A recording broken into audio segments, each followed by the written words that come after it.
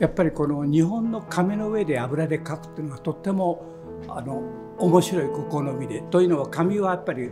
年が経つと暗くなっていくということで絵の具はそのまま残るというだからあの描くまでの楽しさ描き上げてからの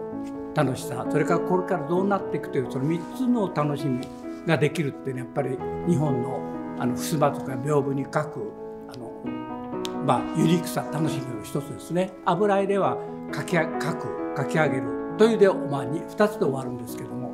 この日本で襖屏風描くとそのこれからどうなっていくだろうという自然がさあのあの仕上げてくれるという楽しみがありますね。